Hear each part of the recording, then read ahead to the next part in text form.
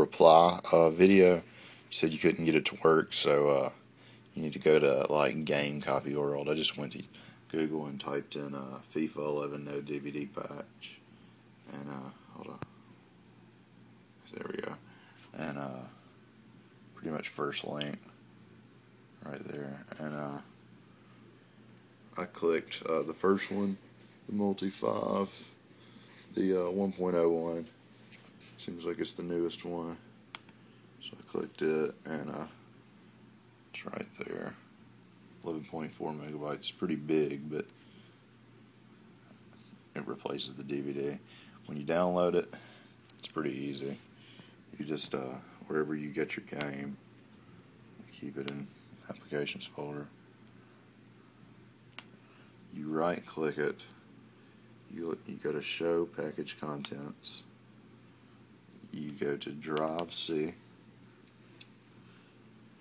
you go to um, program files, um, EA Sports, FIFA 11, game, and you scroll down and you replace the file you just downloaded with FIFA.exe. And then, after you've done that, before you open it, you can go to this file right here called, uh, I think it's FIFA config, I can't remember. Let's see. No, it's this, uh, it's either this one or this one. But you uh, right click it since it's not Windows, it just it doesn't just recognize it. You open it with the text editor. I'll get it eventually.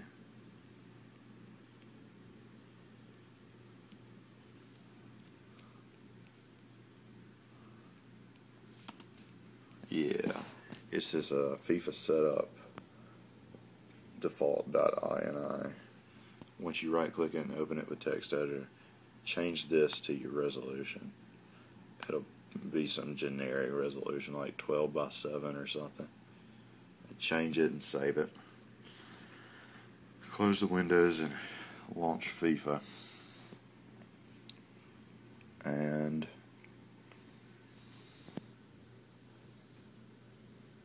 it'll play. It's pretty fun.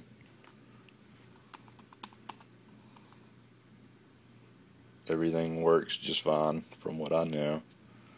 Um, some of the buttons don't match up exactly because of the Apple keyboard, but it's just fine for what you need it for.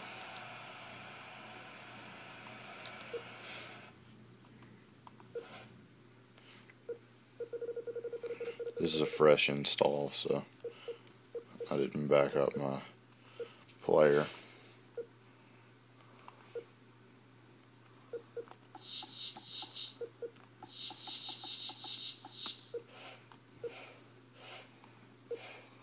And I've got the uh, update, I installed it.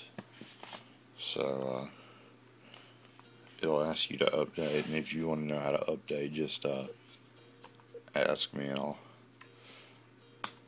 make another simple video.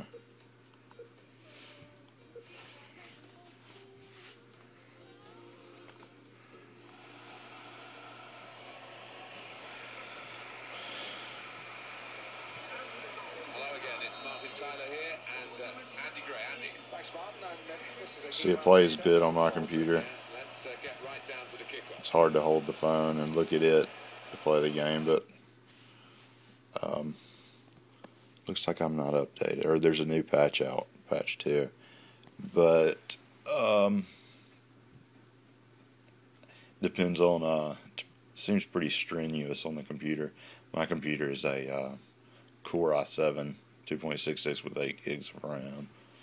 Um, I'm guessing any of the m- most recent computers will play it, but if you uh, need help patching it, just leave a comment.